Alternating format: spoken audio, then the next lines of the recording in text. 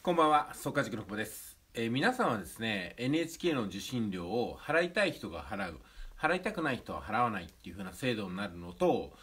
見る人も見ない人も強制的に全員徴収、どちらがいいと思いますかね。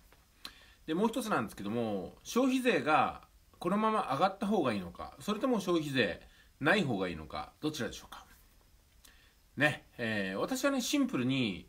うん、NHK の受信料は、まあ、NHK を見て納得して払いたい人が払えばいいかと思いますし消費税なんていうのはね別になくてもいいかなとは思うんですよ。でその時にどうしても話題になるのがこの NHK の受信料に関してはあ N 国党と言われてるね政党ですよね。ここだけがあ NHK のスクランブル化を、まあ、前面に押し出す政策一本でいってるところということになると思います。それから令和新選組。令和新選組の代表的な政策っていうのは消費税を廃止しようということですよね。だから自民党が消費税を廃止とかね。自民党があ、まあ、スクランブル化 NHK の受信料スクランブル化っていうのをやっていれば私も自民党1個で選択できればいいんで楽なんですけどもね。そうはなってないんで仕方がなく NHK のねスクランブル化にもまあ賛成しますし結果 N 国党ってことになります。ちなみに私 NHK の受信料払ってるし NHK 大好きなんですよ。NHK だけしか映んないテレビが欲しいぐらいですよね。でも払ってない人のことを考えたら払ってない人が徴収されてるの変だなと思うんですよ。私は NHK の受信料別に10倍になっても払うつもりではあるんですよ、うん、でも払いたい人の権利を守り払いたくない人の権利を守るという意味ではスクランブル放送でいいんではないかなと思います。そして消費税なんですけども消費税別にねなくてもいいと思うんですよね。でその分法人税上げればいいんじゃないかなと思います。もともと消費税なんてなかったですし法人税も今みたいな税率じゃなかったですからね。で私が法人を作ることをお勧めしてるのはまさにね法人税が安くて、えー消費税が高いからなんですよ。えーだって法人って免税事業者になれば消費税払わなくて済むしで法人税の 最高税率35%ですからね。なんか法人作ってそこそこの1000万円以下の規模でやればむちゃくちゃ楽なんですよお金作るの。だからみんなそれをやればいいのにってことをずっとね10年ぐらい前から1人1法人作りましょうみたいなこと言ってるんですよ。まあ私は20個ぐらいの法人作ってきましたんであのまあ今更ね 法人のメリットをねこれほど享受してるものは私ぐらいしかいないんじゃないかなと思うぐらいですよね。だからもうちょっと具体的に言うと売上規模が2000万円ぐらいになったら会社をもう1個作って1000万円以下1000万円以下とかするってことなんですよ。で3つぐらいにしたらトータルで3000万の売り上げなんだけどもこっちが800万こっちが900万こっちが800万みたいな感じで会社をね3つぐらいにするんですよね。そしたらあ益税が出る会社が3つで消費税払わない会社が3つってことになりますんでえむちゃくちゃお金残るんですよ。まあ、ただインボイス制度が入ってきたりとか、まあ、その他ね、えー税率が変わったりとか制度が変わったりとかしてずっとこれが使えないかなっていうのもありますけども私の場合はそうやってあらゆる制度の中でどれが一番有利かなってことを考えてその道でやって事業活動していきますんでむちゃくちゃいいかなと思うんですよ。例えば私投資もやります。今は最近は投資しかやってないんで投資って税率低いんですよ。だから一番いいと思いますよね。一人でできますしね。で資金があの経費がかかりませんし。んで、えー、と消費税廃止の話に持っていきますと消費税がもしねなくなって法人税が高くなったら私は法人解体して個人事業主でやるんですよ。それでいいわけなんですよね。だから一番ベストな制度を選んでいけばいいんですけどもこれねもう一個私が思うのはこの法人を作ることにものすごくねハードルを感じていらっしゃる方のためにまあ法人税が高くて消費税が安いっていうのがないっていうのがね多くの方にはあいいんではないかなと思うんですよ。だってねあの誰も彼もが法人作って、えーやっていこうなんて思わないんですよね。あのフリーランスやってる方だって法人登記せずに個人事業主っていうすごく不利な制度をなんか活用してるんですよ、うん、だからもうちょっとねあの制度ってものを理解したりとか法人のメリットっていうのをきちんと捉えていくともう100人が100人法人作った方がいいとかね。私サラリーマンですら法人やった方がいいと思うんですよ。法人を作ってその法人が会社に勤めに行くみたいな形にすればものすごくねいい形になるんじゃないかなと思うんですけど通常こんなこと考えないですよね。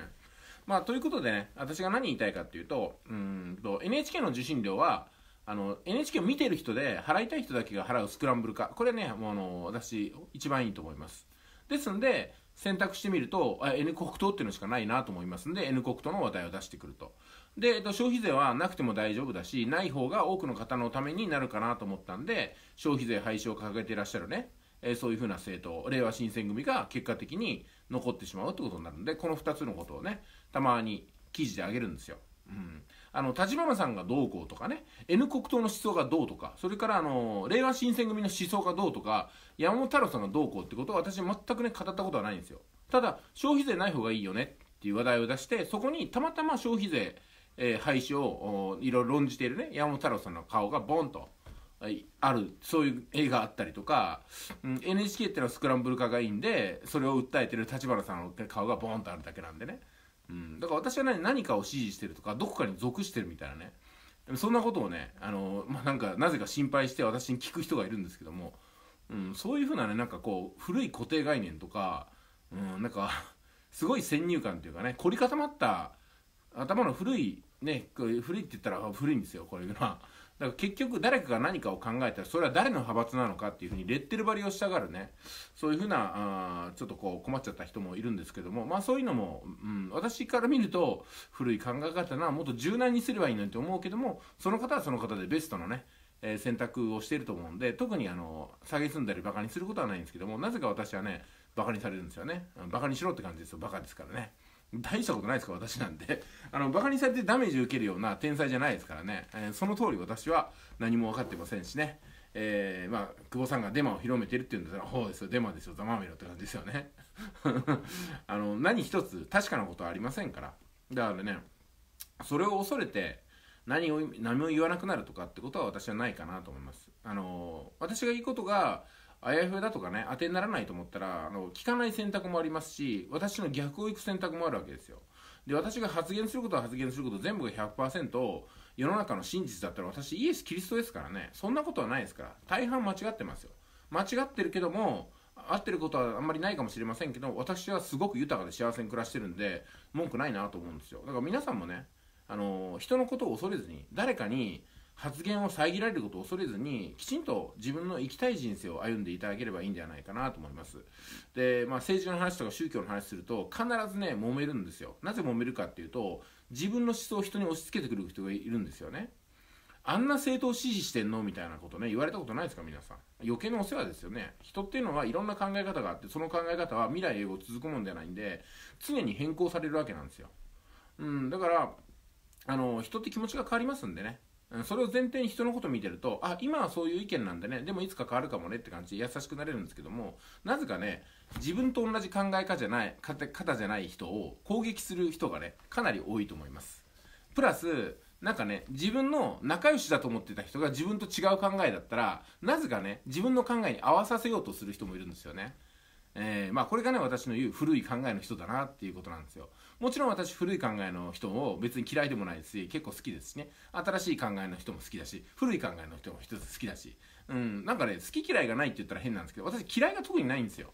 自分の考え方と違うからといって別にその人の人格を否定する必要はないじゃないですか。あ意見違うんだな終わりですよね。意見違うのことは当たり前だと思うんですよ。意見が一緒ってことの方が貴重でどっちかって言ったら意見が一緒だったらあ自分は必要ないじゃんって話になるんですよ。自分と同じ考え方の人がたくさんいたらそれはそれでいいのかもしれませんけどね。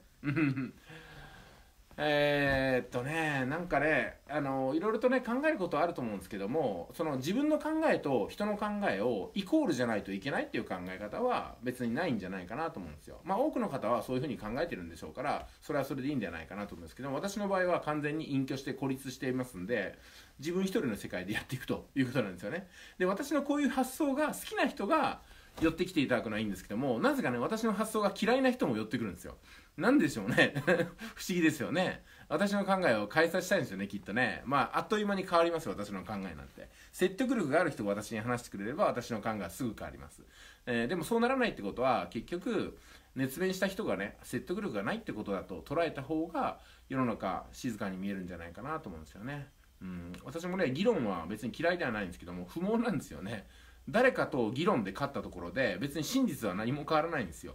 うん、真実は何かっていうと私が毎日暇で楽しく面白おかしく生きているってことなんですよ。これは何も変わんないんですよね。誰かと議論で負けても誰かと議論で勝ってもそれとは関係なく私の人生は進んでいきますし誰かの人生は進んでいきますんであんまりねそこをどっちかに決めることはないかなと思います、えー、それは戦争の始まりだともそれは思いますんでね。お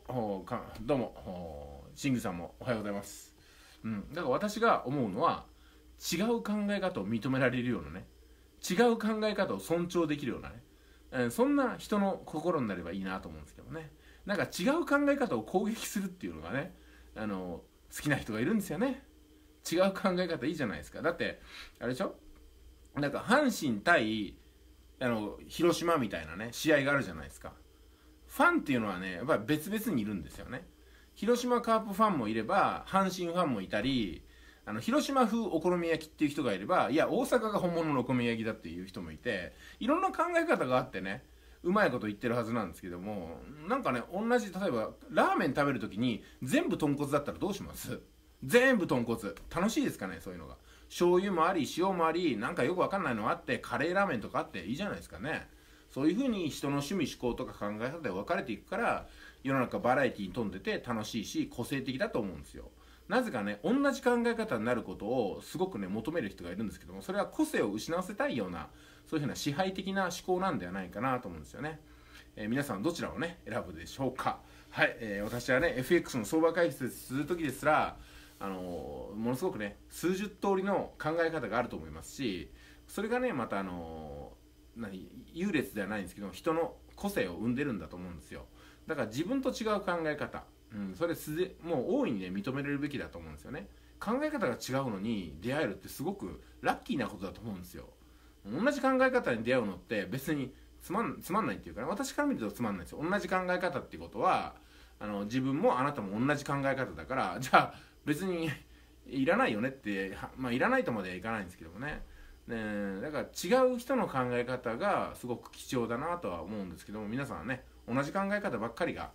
集めたいコレクションしたいのかなとかいうことですよね。はいそれでは話戻してまとめに入ります。えーと、N 国党と令和新選組ね。せっかく新しいことをやろうとしてる人がいるのに別に足を引っ張る必要ないんじゃないかなと思いますよね。気に入らないんだったら別に見ない聞かないでいいと思いますんで。あのテレビメディアみたいにね。テレビマスコミメディアと同じようにあの嫌いな思想が出てきたらもう完全黙殺でいいと思うんですよ、うん、だから我々個人レベルまでね我々個人までやることはそういうのはねなんか既得権益の真似をすることはないと思うんですよ。さあそれで今日のまとめは何かと言いますとね。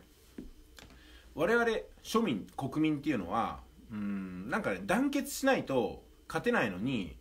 うんなんかねいがみ合って争い合ってるんですよね。で既得権益を持った人とか世の中を支配してる人って支配者同士で協力して行動力あるんですよ。叶うわけないですよね。我々こそがお互いの違ったところを認め合って団結してねえー、既得権益に対して戦いを挑んでいく行動していくっていうところでなんとか突破口を見出せるのにやってることは全く逆で力のない者同士がお互いをバカにし合って足引っ張り合って終わってるんですよね。これ支配者から見たらものすごくいい世の中になっちゃってるんですよね、うん、やっぱり恐ろしいのは私たち力のない普通の人たちが集まってしまうってことなんですよ、違った考え方を認め合って一つの行動をするってことがものすごく怖いんですよね。支配者から見てるとね。えー、まあ支配者に踊らされて生きるのもまた楽しからずやということでございます。それでは今日は以上です。また明日会いましょう。